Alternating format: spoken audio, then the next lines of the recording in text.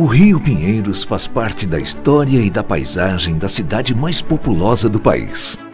E esse gigante paulistano passa por um importante processo de revitalização.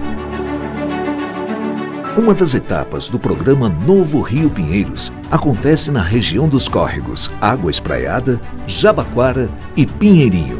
Uma área de mais de 11 mil quilômetros quadrados que abrange 49 comunidades. Vamos implementar a infraestrutura necessária para captar os esgotos e encaminhar ao sistema de tratamento e melhorar a qualidade da água nos córregos. Além de identificar pontos de melhoria nas redes já existentes, beneficiando diretamente mais de 45 mil famílias.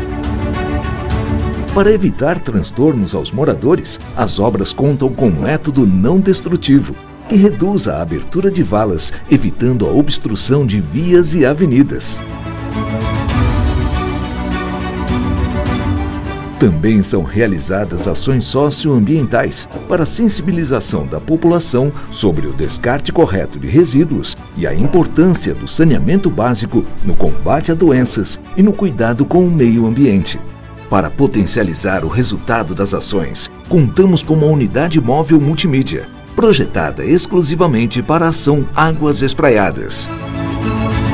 Juntos, vamos construir uma cidade melhor para todos, com nossas águas mais limpas e com mais qualidade de vida.